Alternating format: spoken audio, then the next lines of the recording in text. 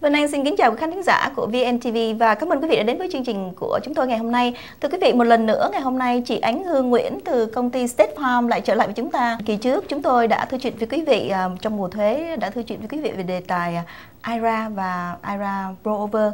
À, ngày hôm nay À, Vân Anh cùng với Ánh Hương sẽ chia sẻ với quý vị à, một đề tài à, cũng trong cái cái đề tài đó Ánh Hương ha mà cho những người self-employed trong cộng đồng của chúng ta thì có rất là nhiều người làm về nghề giống như là tóc hoặc là nail Ánh Hương.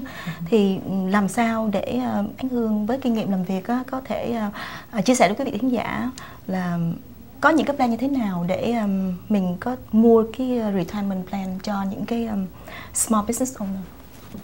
Um, khi mà chúng ta có những uh, cơ sở thương mại riêng cho cá nhân của chúng ta thì um, mở những chương trình um, hưu trí. Um, cũng uh, có uh, rất nhiều chương trình khác nhau một đề, uh, maybe hôm nay thay bằng mình nói về tất cả mọi chương trình thì nó hơi dài yeah. Dạ. mình sẽ nói đến chương trình một chương trình kêu là SEP có nghĩa là self uh, self employment pension plan okay. thì hương sẽ đề cập tới chương trình đó um, và khi mà chúng ta nói đến những chương trình hưu trí một cái quan trọng là chúng ta phải có show là chúng ta có lời có, yeah. Dạ. có lợi tức trong công ty của chúng ta nếu chúng ta không có những lợi tức như coi như là trên giấy tờ đó thì um, chúng ta lại có những uh, chiều hướng khác để đi. Uh, và như vậy thì chúng ta không có thể mở được chương trình ờ, self-employed ờ, pension plan được. Nếu mà với một người muốn bắt đầu với cái chương trình self-employed mà cho cái quỹ hưu bổng đó anh Hương thì họ phải cần tham khảo ở đâu và uh, họ phải cần uh, cái step đầu tiên là như thế nào anh Hương? Cái step đầu tiên dĩ nhiên là kiếm đến những người mà chuyên chuyên về um, uh, mở những chương trình retirement plan cho những người self-employed. Um, tại vì về những chương trình retirement plan họ có rất nhiều chương trình khác nhau. Uh, có nhiều chương trình cho cá nhân. Những người làm cho những uh, mở những chương trình cho cá nhân chưa chắc họ đã hiểu về oh. những chương trình cho những người mà có công ty riêng. Uh, cho nên chúng ta nên kiếm tới những người có từng có những kinh nghiệm như thế à, ngoài ra nữa thì khi uh, chúng ta tham khảo thì chúng ta cũng phải biết là chúng ta muốn đầu tư như thế nào. Tại vì khi chúng ta đầu tư có những người họ không muốn rất nhiều sự mạo hiểm thì có ừ. thể những công băng là có lợi tức hơn tại vì nó an toàn hơn. À, còn những người mà thích nhiều mạo hiểm hơn thì họ có thể vô thị trường chứng khoán vô mutual fund vô vô stock. À, thì những cái quyết định đó nó sẽ ảnh hưởng tới chương trình của chúng ta mở ra À, anh Hương như vậy thì so với những uh, quý vị mà uh, có own business như vậy, self-employed như vậy uh, thì với cái quỹ hưu bổng mà mình uh, sẽ plan là mình mua đó thì nó sẽ đắt hơn hoặc là nó sẽ khó hơn so với những người làm trong công ty không anh Hương? Anh Hương có ý kiến gì về cái cái, cái việc này? sự thật ra khi chúng ta mở những chương trình hưu trí um, cho cho cá nhân hoặc là cho công ty của chúng ta thì um, cái cái cái um, sự tốn kém nó tùy vào chương trình chúng ta mở. Chương trình self employment pension plan thì um, coi như là họ sẽ không có có charge uh, khi mà mình mở những chương trình đó. Những lợi tức mà họ có lời trong đó là khi họ họ mở chương trình cho chúng ta và họ đưa tiền vào những đầu tư như thế nào thì những chương trình mà họ đầu mình đầu tư trong đó thì họ có thể họ lấy cái sự lợi tức của họ trong đó chứ họ không có phải là tính tiền người mở những uh, ngân quỹ như thế này. Dạ vâng. À, anh Hương như vậy thì à, với những người mà thí dụ à, có một à, thí dụ bên anh có một cái business mà chỉ một mình bên anh làm chủ thôi. Uh-huh. Và với một người có một cái business mà có vài vài người làm chung thì cái khi mà mình mua cái cái, cái quỹ bảo hiểm với hai người đó nó có khác nhau gì và nó có khó hơn gì không anh Hương hay là cũng vậy thôi? Cái sự khó khăn thì nó không có sự khác biệt. Nhưng um, khi chúng ta mở như vậy thì họ mình nó sẽ tùy thuộc vào là chúng ta muốn uh, cho retirement tức là cho cho nhân công của chúng ta ờ, những số tiền như thế nào. Khi chúng ta mở những chương trình hưu trí như vậy thì phần nhiều chúng ta cũng phải có um, tính những người làm việc cho chúng ta trong đó. Ví dụ như uh, Vân Anh có một văn phòng real estate nhưng chỉ có một mình Vân Anh làm việc ở đó thôi. Thì Vân Anh mở một chương trình như chương trình SEP mình có thể bỏ vô trong đó lên tới 25% số tiền của mình. Ừ.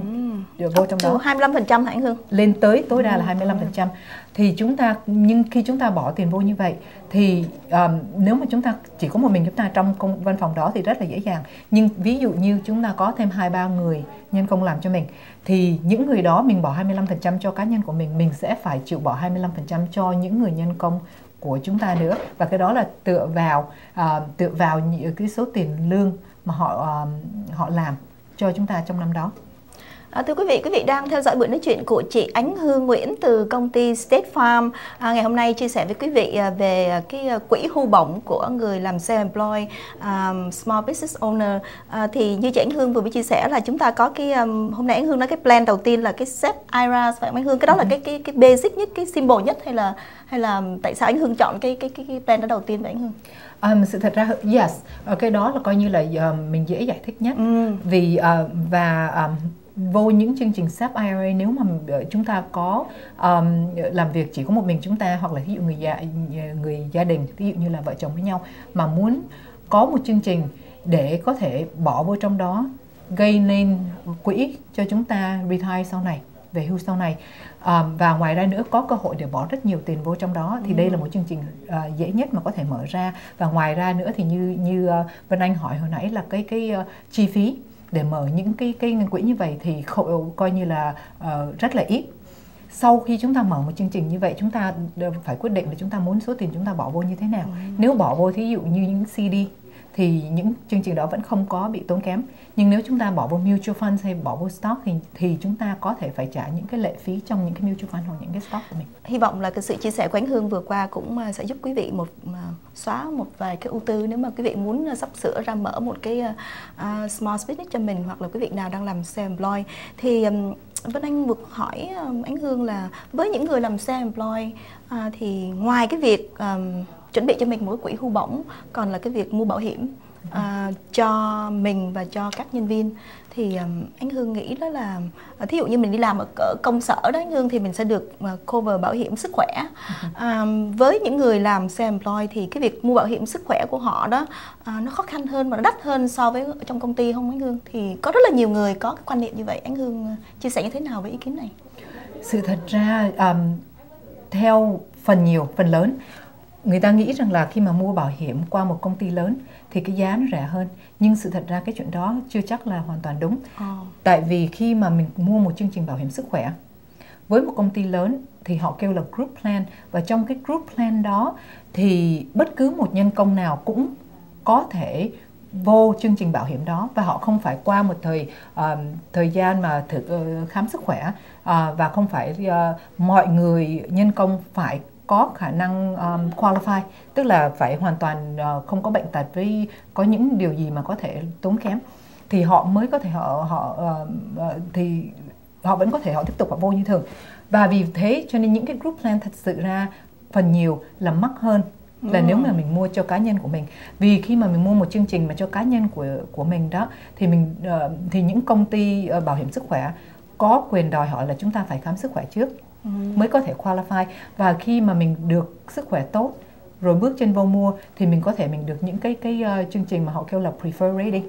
Và trong những prefer rating thì cái giá của nó có thể là rẻ hơn là nếu mà mình mua qua một cái group plan À, thưa quý vị, um, Ánh Hương sẽ gửi đến chúng ta những cái chương trình à, đều đặn và thường xuyên trong những ngày tháng tới. Cho nên quý vị muốn chúng tôi uh, chia sẻ với quý vị về đề tài gì hoặc là quý vị có tất cả những thắc mắc uh, muốn uh, gửi đến Ánh Hương xin quý vị hãy email chúng tôi qua địa chỉ của VNTV là vntvsg@yahoo.com hoặc là quý vị nào không có thì giờ xem TV muốn xem lại các chương trình của VNTV xin mời vào uh, website của chúng tôi là vietnewstv.com vietnewstv.com à, quý vị sẽ được xem lại tất cả những cái à, à, chương trình của chúng tôi mà quý vị đã không có thời gian theo dõi. À, cảm ơn quý vị nhiều lắm và một lần nữa chúng tôi à, rất là hân hoan để đón nhận tất cả những ý kiến à, đóng góp xây dựng của quý vị để chương trình ngày càng phong phú hơn. À, và quý vị có tất cả những thắc mắc à, liên quan về bảo hiểm. À, xin liên lạc với chị Ánh Hương qua số điện thoại. Yeah. Dạ. Thoại à, kính thưa quý vị, số điện thoại của anh Hương là 858 450 6000 à, 858 450 6000 Vân Anh cảm ơn quý vị và xin chúc quý vị một buổi chiều thật vui và Ánh Hương cùng với Vân Anh sẽ gặp lại quý vị trong chương trình lần sau.